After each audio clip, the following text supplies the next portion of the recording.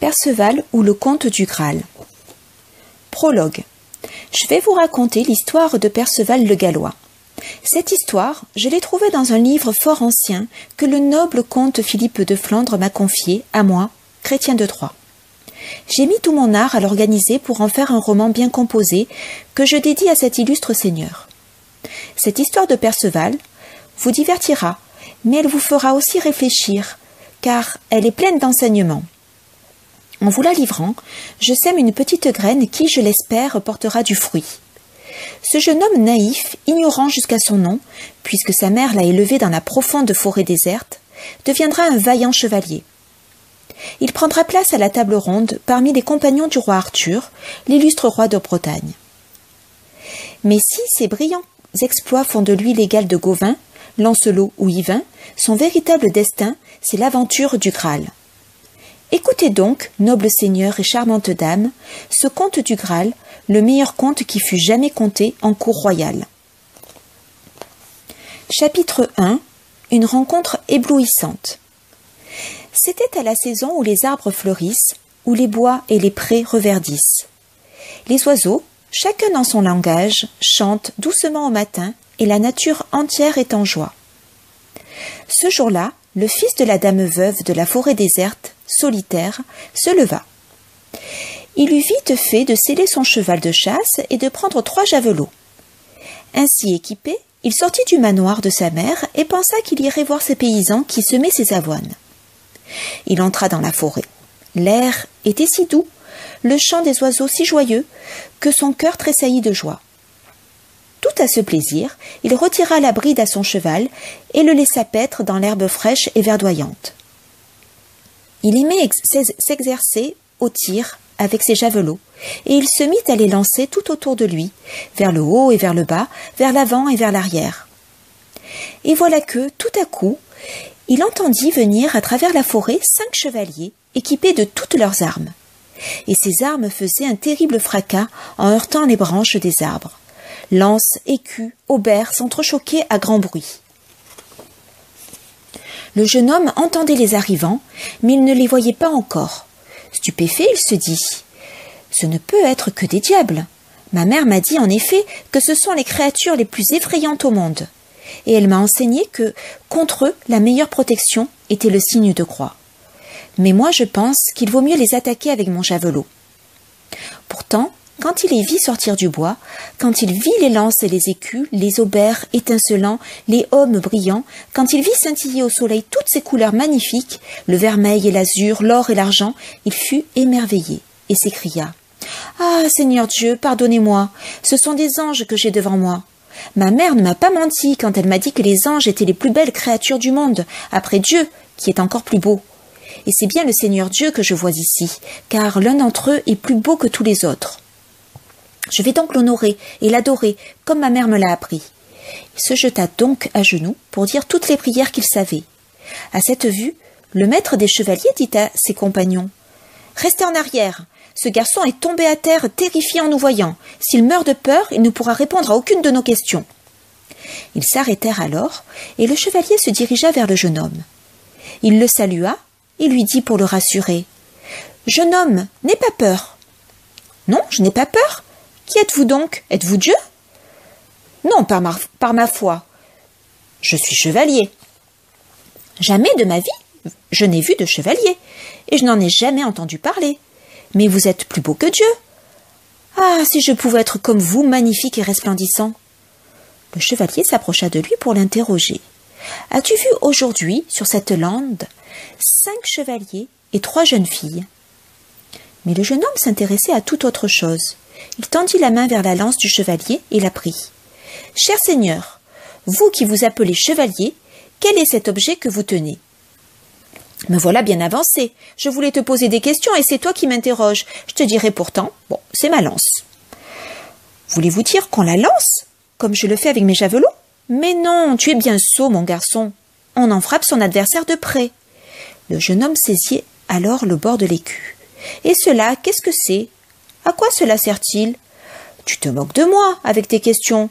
Je te répondrai cependant car tu me plais. Ce que je porte est un écu, et il m'est bien utile. Il me protège fidèlement de tous les coups qu'on me porte.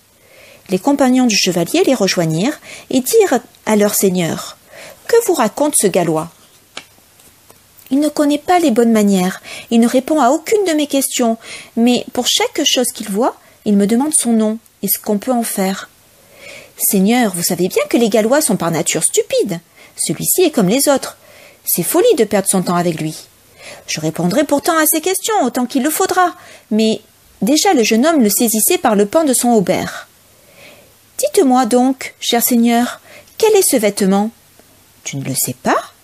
C'est mon aubert, et il est lourd comme fer. Il est donc en fer? Ben, Tu le vois bien. Il est très beau, mais à quoi sert-il? C'est facile à expliquer. Si tu voulais lancer contre moi une flèche ou un javelot, tu ne pourrais me faire aucun mal. Eh bien, heureusement que les biches et les cerfs n'emportent pas. La chasse serait finie pour moi. Le chevalier reprit alors. Jeune homme, vas-tu enfin me dire des nouvelles des chevaliers et des jeunes filles? Et l'autre, qui était vraiment bien naïf, lui dit Êtes-vous né ainsi? Mais non, voyons, c'est impossible. Qui vous a donc équipé de la sorte? Je vais te le dire.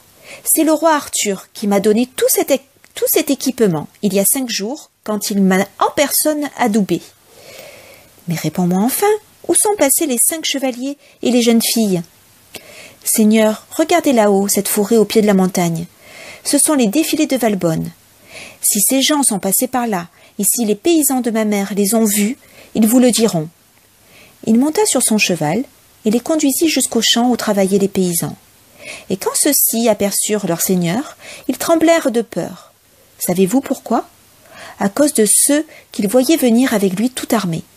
En effet, ils comprenaient bien que si le jeune homme connaissait leurs activités et leurs nobles conditions, il voudrait devenir chevalier, et sa mère, de chagrin, en perdrait la raison. On s'était donné tant de mal pour l'en empêcher d'en apercevoir un seul. Quand le maître des, chevaliers eut enfin obtenu des renseignements qu'il souhaitait, le jeune homme lui demanda alors Et ce roi qui fait les chevaliers Parlez-moi un peu de lui. Où demeure-t-il le plus souvent? Jeune homme, répondit-il, le roi séjourne à Carduel. Il n'y a pas cinq jours, il s'y trouvait. Je l'ai vu. S'il n'y est plus, tu trouveras bien quelqu'un pour te renseigner. Sur ces mots, il s'éloigna au grand galop pour rejoindre ses compagnons. Chapitre 2 La Dame Veuve Le jeune homme ne perdit pas de temps pour retourner au manoir. Son retard avait plongé sa mère dans la tristesse, mais dès qu'elle le vit, elle laissa éclater sa joie. Elle courut à sa rencontre et le serra contre elle comme une mère pleine d'amour, lui répétant cent fois Cher fils, cher fils. Mon fils chéri, mon cœur était tellement serré d'angoisse à cause de ton retard que j'ai failli mourir de douleur. Où t'es-tu attardé Où? Je vous le dirai sans mentir, car j'ai vu une chose qui m'a rempli de joie. Ne m'aviez-vous pas dit que les anges de notre Seigneur sont plus beaux que toute créature au monde? Je l'ai dit en vérité, et je le redis encore. Eh bien, figurez-vous, mère, que j'ai vu aujourd'hui dans la forêt déserte les plus belles créatures qui soient, plus belles que Dieu et ses anges. Sa mère le serra dans ses bras. Mon fils, que Dieu te protège, car j'ai grand peur pour toi. Tu as vu, je crois, les anges dont tout le monde se plaint, car ils tuent ceux qui l'atteignent. Non, mère, pas du tout. Ils disent qu'ils ont pour nom chevalier. À ce mot, la mère s'évanouit. Lorsqu'elle reprit ses esprits, elle laissa parler son chagrin. Hélas. Quelle triste destinée que la mienne. Mon fils chéri, je croyais bien te tenir à l'écart de la chevalerie. Tu n'en aurais rien vu, tu n'en aurais même pas entendu parler. Et pourtant, tu aurais dû être chevalier, mon fils, si Dieu t'avait conservé ton père. Nul n'était plus destiné et redouté que lui dans toutes les îles de la mer. Tout comme moi, il était né d'un noble et excellent lignage. Mais de grands malheurs s'abattirent sur nous. Ton père fut blessé aux jambes et demeura infirme. Il perdit son domaine, ses trésors, tous ses biens, et tomba dans une grande pauvreté. Après la mort du terre Pindragon, père du bon roi Arthur, les terres furent dévastées. Ton père fut fuir ton père put fuir vers ce simple manoir qu'il possédait dans la forêt déserte. Il s'y fit porter en litière. Tu étais encore un tout petit enfant au sein, mais tu avais deux frères aînés, très beaux. Quand ils furent grands, ils allèrent dans les cours royales pour obtenir armes et chevaux. l'aîné chez le roi d'Escavalon, le second chez le roi Ban de Gomeré. Le même jour, ils furent adoubés, et le même jour, ils voulurent, pour partager leur joie avec leur père et leur mère, rentrer à la maison. Ils périrent ensemble, massacrés sur le chemin du retour. Leur père mourut de chagrin, et moi, je connus la vie bien amère d'une veuve. Tu étais mon unique consolation, mon unique bien. Dieu ne m'avait rien laissé d'autre. Mais le, jeune homme prêtait bien peu d'attention à ce que sa mère lui racontait. Donnez-moi à manger, fit-il. Je ne sais de quoi vous me parlez, mais ce que je voudrais vraiment, c'est aller trouver le roi qui fait les chevaliers. Et j'irai, rien ne m'en empêchera. La mère, autant qu'elle le put, retarda son départ. Elle l'équipa d'une grossière chemise de chanvre et de bré à la mode du pays de Galles. Avec cela, une cotte et un capuchon en cuir de cerf. Elle parvint ainsi à le retarder trois jours, mais pas plus. Quand vint le moment du départ, elle l'embrassa et le serra contre elle en pleurant.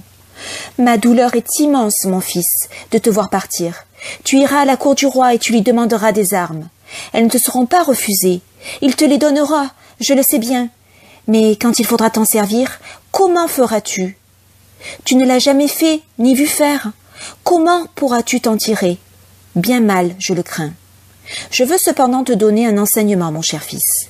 Écoute-le bien, il te sera profitable. Tu seras chevalier d'ici peu, mon fils, et je l'accepte. Si tu rencontres une dame ou une jeune fille qui ait besoin d'assistance, sois toujours prêt à l'aider. C'est le comportement d'un homme d'honneur. Sois au service des dames et des demoiselles, et si tu courtises l'une d'entre elles, prends garde à ne pas l'importuner. Ne fais rien qui lui déplaise. Si une jeune fille t'accorde un baiser, c'est déjà beaucoup. N'en demande pas davantage. Et si elle, a, si elle a un anneau au doigt ou une aumônière à sa ceinture, et qu'elle t'en fait cadeau, accepte-les. Voilà tout ce que je te permets. Cher fils, encore un conseil. Si pour quelque temps tu fais route avec un compagnon, ou si tu partages un logis avec quelqu'un, ne reste jamais longtemps sans demander son nom. C'est par le nom qu'on connaît l'homme. Parle aux gens de bien et fréquente-les. Un homme d'honneur ne donne que de bons conseils. Enfin, par-dessus tout, je veux que tu ailles dans les églises et les monastères pour prier notre Seigneur, afin que tu aies dans ce monde une conduite digne d'un bon chrétien. Mère, fit-il, qu'est-ce qu'une église? C'est un endroit où l'on célèbre Dieu le Créateur, qui fit le ciel et la terre, et y mit les hommes et les bêtes. Et qu'est-ce qu'un monastère?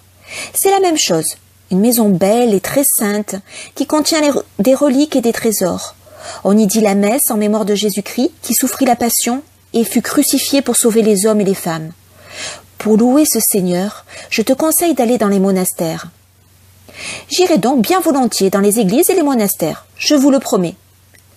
Alors, sans plus attendre, il prit congé. Sa mère pleurait, mais déjà la selle était mise au cheval. Il était équipé, à la mode des Gallois, avec des gros brodequins aux pieds. Il voulait emporter ses trois javelots, mais comme d'habitude, sa mère lui en fit laisser deux, pour qu'il n'ait pas trop l'air d'un Gallois. Dans sa main droite, il tenait une baguette d'osier pour fouetter son cheval. Sa mère demanda à Dieu de le protéger. Cher fils, où que tu ailles, que Dieu te donne plus de joie qu'il ne m'en reste à moi. Quand le jeune homme se fut éloigné d'un jet de pierre, il regarda en arrière et vit sa mère tomber par terre, évanouie, comme morte. Mais il lui cingla la croupe de son cheval de sa baguette. L'animal bondit et l'emporta à bonne allure vers la grande forêt obscure. Chapitre 3 La jeune fille de la tente. Le jeune homme chevaucha toute la journée et passa la nuit dans la forêt. Au matin, avec le chant des oiseaux, il reprit la route. Il aperçut alors une tente dans une verte prairie à côté d'une source. Cette tente était extraordinairement belle, vermeille d'un côté, verte de l'autre et décorée de bandes brodées d'or. Au sommet, un aigle d'or que les rayons du soleil faisaient briller. Le jeune homme alla vers la tente en se disant Seigneur, c'est votre maison que je vois. Elle avait bien raison, ma mère, de me dire qu'une église est la plus belle chose au monde. Je vais aller adorer Dieu le Créateur. Et je lui demanderai de me donner aujourd'hui de quoi manger car j'ai grand faim. Il arriva à la tente et la trouva ouverte. Au milieu, un lit magnifique recouvert d'un drap de soie. Sur ce lit, une demoiselle était endormie. Ses suivantes étaient allées cueillir des fleurs fraîches. Quand le jeune homme entra, son cheval trébucha, et la jeune fille s'éveilla en sursaut.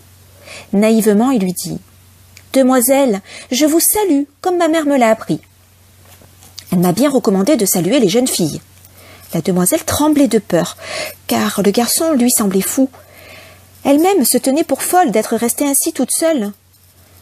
Jeune homme, passe ton chemin, lui dit-elle, avant que mon ami ne te trouve ici. Avant de partir, je dois vous donner un baiser. C'est ce que ma mère m'a enseigné. Jamais tu ne m'embrasseras, répondit-elle. Fuis avant que mon ami ne vienne. Il s'appelle l'orgueilleux de la lande, et c'est un chevalier redoutable. Il te tuera. Mais le jeune homme était robuste.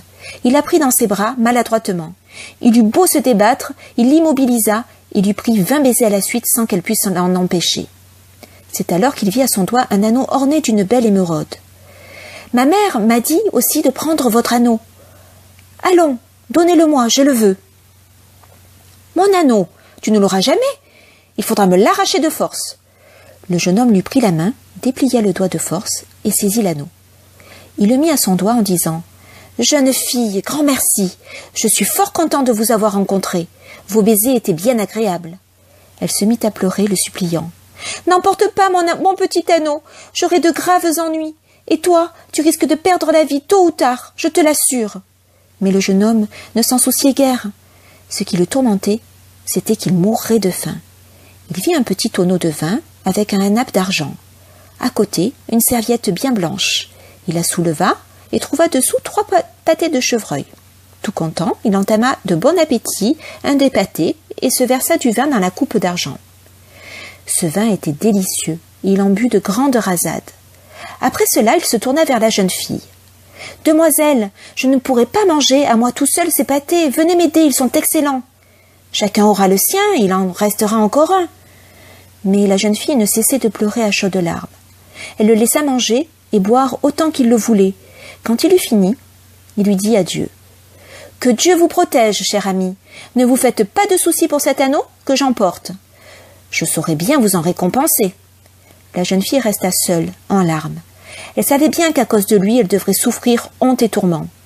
Elle aurait à subir de grands malheurs, et ce n'était pas lui qui pourrait l'aider. Peu de temps après, l'orgueilleux de la lande revint de la chasse. Il vit les traces des sabots d'un cheval, et cela lui déplut. Trouvant son ami qui pleurait, il lui dit Demoiselle, je vois bien à ces traces qu'un chevalier est passé par là. Non, Seigneur, je vous le jure, c'est seulement un jeune gallois déplaisant, vulgaire et sot qui a bu de votre vin et mangé vos trois pâtés. Et c'est pour cela que vous pleurez? Il aurait bien pu boire et manger le tout, cela m'est bien égal. Ce n'est pas tout, Seigneur. Il m'a arraché mon anneau et l'a emporté avec lui. J'aurais préféré être morte. L'autre se troubla et dit plein de colère. Ma foi, c'est un grand outrage. Mais n'y a-t-il rien eu d'autre? J'ai l'impression que vous me cachez quelque chose. Seigneur, il m'a pris un baiser. Un baiser? Eh oui, mais ce fut malgré moi. Non, non, dites plutôt que cela vous a bien plu. Vous n'avez guère résisté. Croyez-vous que je ne vous connaisse pas? Je sais comment sont les femmes. Eh bien, sachez que vous avez pris un mauvais chemin, car je vais me venger. Votre cheval n'aura plus d'avoine. S'il meurt, vous me suivrez à pied. Quant à vous, vous n'aurez pas d'autres vêtements que ceux que vous portez aujourd'hui. Ils pourront tomber en labo. Et ce châtiment durera jusqu'à ce que je puisse trancher la tête de celui qui m'a fait un tel affront. Chapitre 4 À la cour d'Arthur. De son côté, le jeune homme avait repris la route. Il chevaucha tant et si bien qu'il rencontra un charbonnier menant un âne. Brave homme, dit-il, indique-moi le chemin le plus court pour aller à Carduel. Je veux voir le roi Arthur, car on m'a dit qu'il fait des chevaliers. Va dans cette direction, mon cher ami, et tu verras un château au bord de la mer. C'est là que tu trouveras le roi Arthur, à la fois joyeux et triste. Vas-tu me dire pourquoi le roi est joyeux et triste? Oui, bien sûr. Le roi Arthur, avec toute son armée, a combattu contre le roi Rion des îles, et il l'a vaincu. C'est cela qui le rend joyeux. Mais il est triste, car ses compagnons l'ont quitté pour aller se reposer dans leur château. Il est sans nouvelles d'eux, et cela l'afflige beaucoup.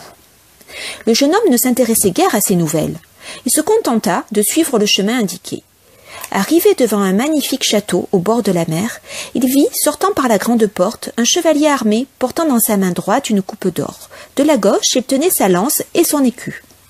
Son armure était d'une couleur vermeille éclatante. Elle plut beaucoup au jeune homme qui se dit Ma foi, voilà les armes que je vais demander au roi. Je serai ravi qu'il me les donne. Il s'élança alors vers le château, et quand il fut tout près du chevalier, celui-ci l'interpella. Où vas-tu donc ainsi Je veux aller à la cour du roi pour lui demander ses armes. Tu as bien raison, mon garçon. Va et reviens vite. Tu pourras dire à ce mauvais roi qu'il doit me rendre ma terre ou devenir mon vassal, car je la revendique. Elle est à moi.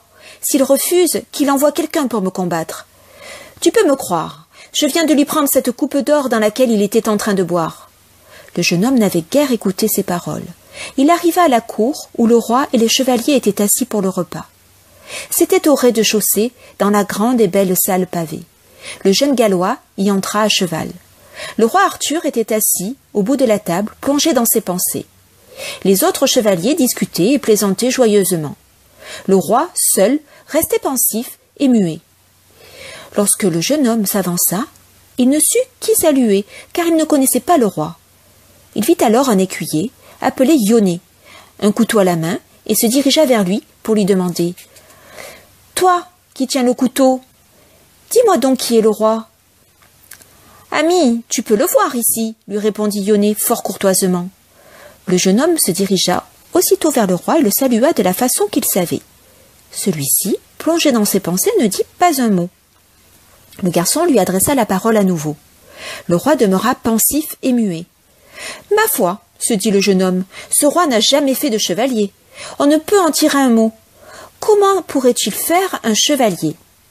Aussitôt, il s'apprêta à repartir. Il fit tourner bride à son cheval. Mais il l'avait mené si près, comme un homme mal élevé, que la tête de l'animal heurta le chapeau du roi et le fit tomber sur la table. Le roi, relevant la tête, sortit enfin de ses pensées. Cher ami, dit-il, soyez le bienvenu. Ne m'en veuillez pas si je n'ai pas répondu à votre salut. J'étais plongé dans la tristesse. Mon pire ennemi, plein de haine et d'insolence, vient de me contester ici même ma terre. Il menace de s'en emparer, et il est assez fou pour me défier. Il se nomme le Chevalier Vermeil. La reine était venue s'asseoir auprès de moi pour réconforter les blessés. Quand le chevalier s'est emparé de ma coupe par défi, il a enlevé si furieusement qu'il a répandu, répandu tout le vin sur la reine.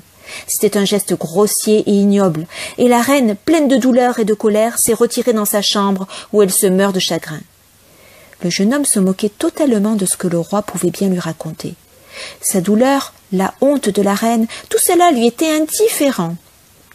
Faites-moi chevalier, seigneur roi, car je veux m'en aller. Ses yeux brillaient, clairs et vifs, dans son visage. Personne, voyant ce jeune sauvage, ne le jugeait bien sensé. Malgré cela, tous lui trouvaient l'air beau et noble.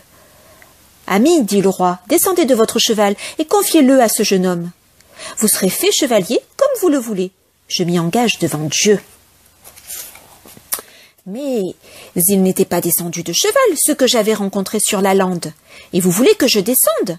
Jamais, je le jure sur ma tête. Faites vite, et je m'en irai. Mon cher ami, je le ferai bien volontiers, pour notre bien à nous deux. Par ma foi, mon cher seigneur le roi, je ne veux pas attendre des mois, je veux être chevalier vermeil. Donnez-moi les armes de celui que j'ai rencontré devant votre porte, avec votre coupe d'or. Le sénéchal que lui dit avec colère. Eh bien, allez-y, mon ami, c'est votre droit. Allez lui enlever ses armes, elles sont à vous. Que, lui dit le roi, cessez de dire des méchancetés à n'importe qui. Ce garçon est naïf et ignorant, mais il est peut-être d'un noble lignage. Il lui a seulement manqué un bon maître pour faire son éducation. Il peut encore devenir un chevalier vaillant et sage. Quant à vous, sachez qu'il est détestable, pour un homme de bien, de se moquer d'autrui. Pendant que le roi réprimandait que, le jeune homme, sur le point de partir, vit une jeune fille belle et gracieuse qu'il salua. Elle lui rendit son salut et se mit à rire en le, regardant. Jeune homme, si tu vis assez longtemps, mon cœur me dit que, dans le monde entier, il n'y aura meilleur chevalier que toi. Nul ne pourra te surpasser, j'en ai la certitude. Or, la jeune fille n'avait jamais ri depuis six ans, et elle parla très fort, si bien que tous l'entendirent. que, furieux, lui donna une gifle si violente qu'il la fit tomber, par terre. Le fou de la cour se tenait près de la cheminée. Le sénéchal, plein de colère, lui lança un coup de pied qui l'envoya rouler dans le feu ardent. En effet, le fou avait coutume de prédire. Cette jeune fille ne retrouvera le rire que le jour où elle verra le chevalier qui surpassera tous les autres par sa vaillance. Le jeune homme ne s'attarda pas et repartit en quête du chevalier vermeil. Mais Yonné, qui connaissait tous les raccourcis, le suivit en courant jusqu'au chemin où le chevalier se tenait, attendant l'exploit et l'aventure. Il avait posé la coupe d'or à côté de lui sur une grosse pierre.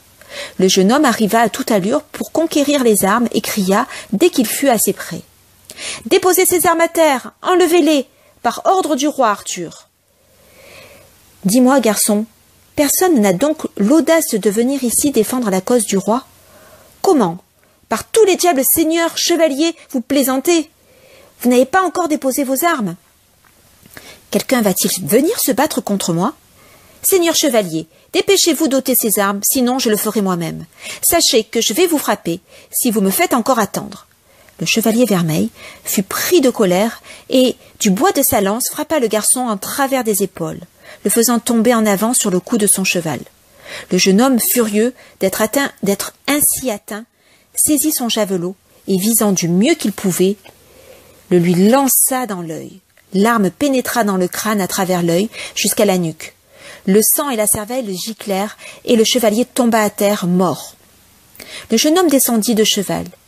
Il mit de côté la lance et l'écu, mais il ne parvint pas à prendre le homme ni à détacher l'épée du côté. Impossible de la tirer du fourreau. Le voyant si embarrassé, Yonné se mit à rire. Que faites-vous là, mon ami? Je ne sais pas trop. Je croyais que le roi m'avait donné ses armes, mais elles le tiennent si bien au corps que je ne peux séparer le dedans du dehors. J'aurais plus vite fait de découper le corps en grillade que de chercher à détacher ses armes. Aussitôt Yonné déshabilla le mort de la tête aux pieds, aubert, chausse, homme. Le jeune homme reçut toutes les pièces de l'armure, mais il ne voulut pas abandonner ses propres vêtements. Pas question, malgré les conseils d'Yonné, de prendre la côte de soie rembourrée à porter sous l'armure. Pas question de laisser ses bons brodequins. Comment dit-il à Yonné C'est une plaisanterie? Pourquoi diable faudrait-il changer les bons, habits que ma mère m'a donnés contre ceux de ce chevalier? Ma solide chemise de chanvre, ma tunique de cerf, qui ne laisse pas passer une goutte d'eau contre ces vêtements minces et fragiles qui ne valent rien? Impossible de convaincre un fou. Il ne voulut prendre que les armes. Yonné lui lassa les choses, fixa tant bien que mal les éperons sur les brodequins, puis le revêtit du haubert. Il plaça sur sa tête le homme et lui montra comment ceindre l'épée de façon à la tirer facilement. Il lui mit le pied à l'étrier et le fit monter sur le destrier. Il lui apprit à se servir des éperons, lui qui n'avait jamais eu qu'une baguette d'osier. Il lui donna enfin l'écu et la lance. Avant de s'en aller, le garçon lui dit Ami, vous pouvez garder mon cheval de chasse. Je vous le donne car il est très bon.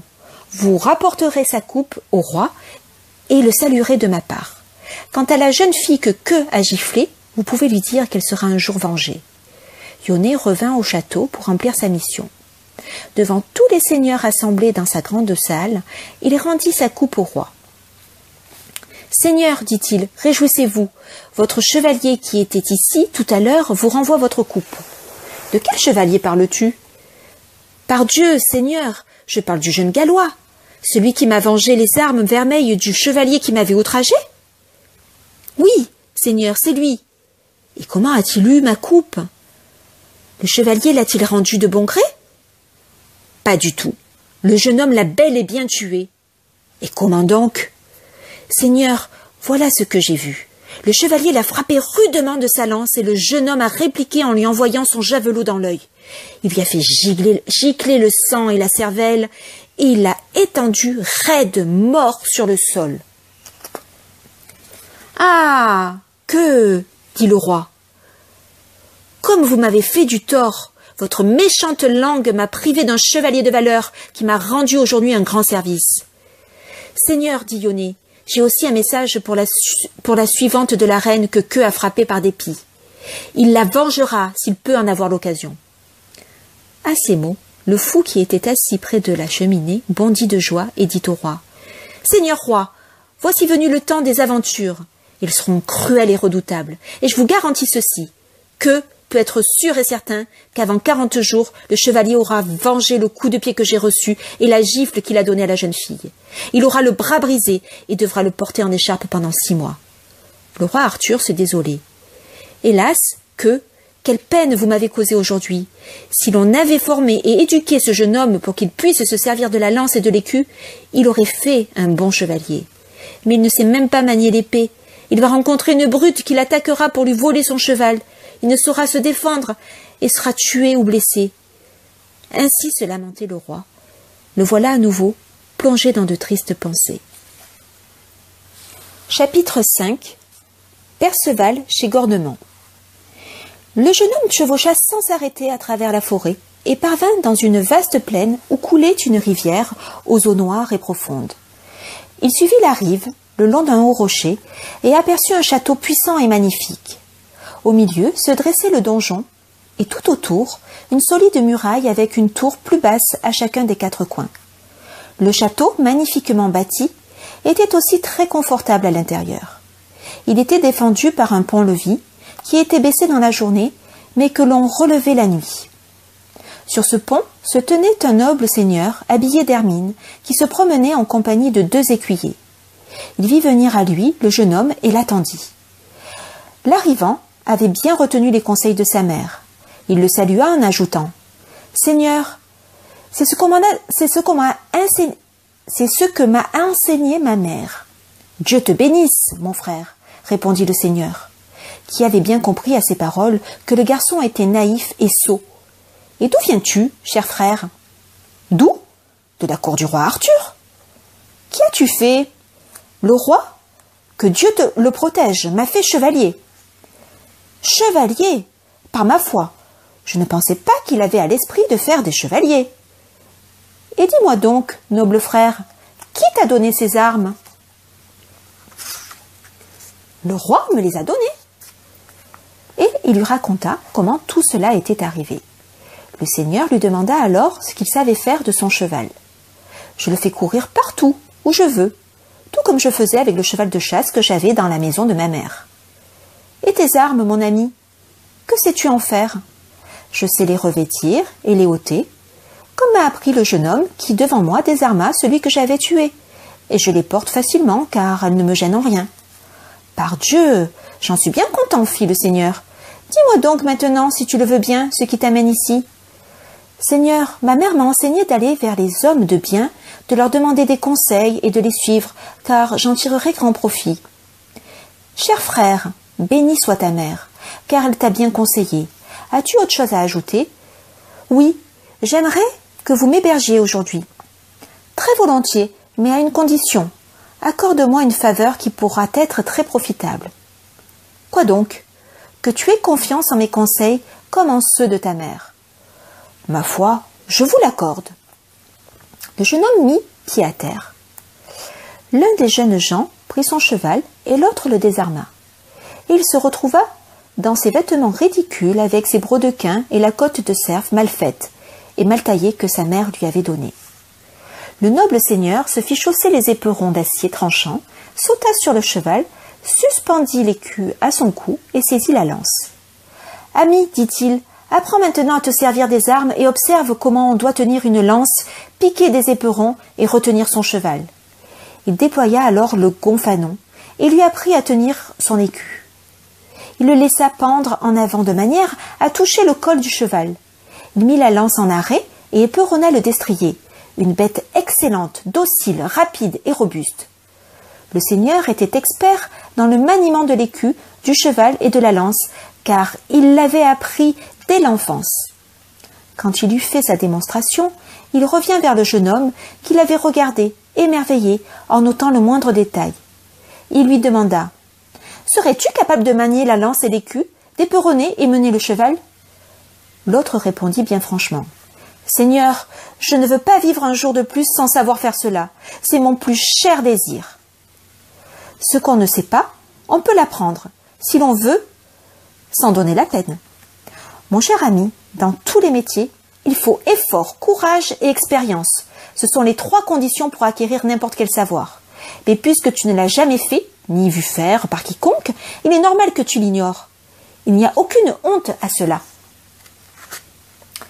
Il le fit monter à cheval, et le jeune homme se servit de la lance et de l'écu comme s'il avait toujours vécu parmi les tournois et les guerres ou parcouru le monde en quête de batailles et d'aventures. Tout cela lui venait de la nature. Lorsque nature est favorable et que l'on y met tout son cœur, rien ne peut être difficile. Le noble seigneur était ravi des bonnes dispositions de son élève. Quand le garçon eut achevé son tour, il revint, lance levée, comme il l'avait vu faire, et demanda Seigneur, m'en suis-je bien tiré? Croyez-vous que mes efforts porteront leurs fruits? Je n'ai jamais rien vu que je désire à ce point. Je voudrais en savoir autant que vous. Trois fois de suite, le Seigneur monta.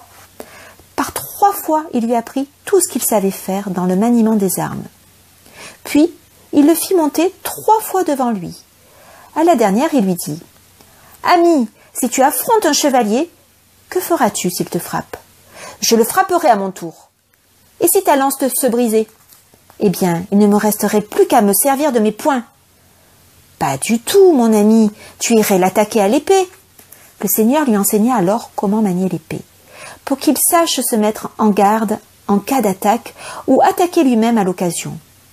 Puis il lui, mit, il lui mit la main à l'épée. Ami, c'est ainsi que tu te défendras si l'on t'assaille. Par Dieu, j'en sais déjà beaucoup sur ce point. Chez ma mère, je me suis exercée jusqu'à épuisement à pourfendre coussins ou planches. Rentrons donc maintenant à la maison, dit le Seigneur, qui sera bien hébergé ce soir. Et le jeune homme demanda à son hôte. Seigneur, ma mère m'a appris à ne pas rester longtemps avec quelqu'un sans savoir son nom. Je veux donc vous demander le vôtre. Mon cher ami, je me, nomme Cornement de Gorte. Ils arrivèrent ainsi au château, main dans la main. Comme il montait les marches, un écuyer accourut pour lui présenter un manteau afin qu'il ne prît pas froid après s'être donné de l'exercice. La demeure était somptueuse et le service parfait. Le repas fut préparé et présenté avec élégance. Après s'être lavé les mains, ils s'installèrent à table et le seigneur fit manger le jeune homme à côté de lui, dans la même écuelle. Je n'en dirai pas davantage sur le repas, qui était de grande qualité. Quand ils eurent quitté la table, le seigneur, qui était très courtois, le pria de rester chez lui tout un mois et même une année. Il désirait lui qu'il savait. Mais le jeune homme lui répondit Seigneur, je ne sais si je suis loin ou près du manoir de ma mère, mais je prie Dieu qu'il me conduise à elle pour la revoir encore. Je l'ai vue tomber évanouie au bout du pont, devant sa porte, et j'ignore si elle est vivante ou morte. C'est le chagrin qu'elle éprouva lors de mon départ qui la fit tomber évanouie. Je partirai demain au lever du jour, car je ne peux demeurer plus longtemps ici sans avoir de ses nouvelles. Le seigneur comprit qu'il était inutile de discuter, et ils allèrent se coucher. Au petit matin, le seigneur se leva et rejoignit le jeune homme dans sa chambre. Il lui fit apporter une chemise et des braies de fine toile de lin, des chausses teintes en rouge et une cotte de soie violette tissée en Inde. Ami, si tu veux me croire, voici les vêtements que tu vas porter. Seigneur, vous voulez que je mette ces vêtements? Ceux que ma mère m'a fait ne sont-ils pas bien meilleurs? Non, mon ami, je t'assure qu'ils valent bien moins. Ne m'as-tu pas promis, en venant ici, que tu ferais tout ce que je te demanderai? Ainsi ferai-je. Je ne m'opposerai à vous en rien. Il ne tarda pas à revêtir les vêtements, abandonnant ceux de sa mère. Le seigneur se courba pour lui chausser les perons droits. C'était alors la coutume lorsqu'on adoubait un chevalier. Chacun voulut lui donner une pièce de son armement. Gornement, enfin, prit l'épée, il la lui ceignit en lui donnant la collade. Avec l'épée, je te confère l'ordre de la chevalerie, l'ordre le plus élevé que Dieu ait créé, un ordre qui n'admet aucune bassesse. Puis, il ajouta ces paroles pour l'instruire de ses devoirs. Cher frère, souviens-toi bien de ceci si tu as le dessus dans un combat avec un chevalier, et si ton adversaire implore sa grâce, surtout ne le tue pas. Épargne-le. Garde-toi aussi d'être trop bavard. Celui qui ne sait pas tenir sa langue finit toujours par dire quelque chose de blâmable. S'il t'arrive en chemin de trouver quelqu'un dans la détresse, homme ou femme, Dame ou demoiselle, viens lui en aide. Tu feras bien.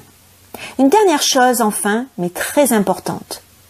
Entre souvent dans les églises pour prier Dieu le Créateur afin qu'il ait pitié de ton âme et qu'il te protège en ce monde comme son fidèle chrétien. Soyez bénis, Seigneur, car vous m'avez dit exactement les mêmes choses que ma mère. Cher frère, cesse de dire sans arrêt que ta mère t'a appris telle ou telle chose. Je ne te blâme pas de l'avoir fait jusqu'à présent, mais désormais, je t'en prie, il va falloir t'en corriger. Si tu continues, on te prendra pour un fou. Et que dois-je dire alors? Tu pourras dire que cet enseignement vient du vavasseur qui t'a fait chevalier. Le jeune homme lui promit qu'il ferait ainsi, car ce conseil lui semblait bon. Le Seigneur fit alors sur lui le signe de croix pour le bénir.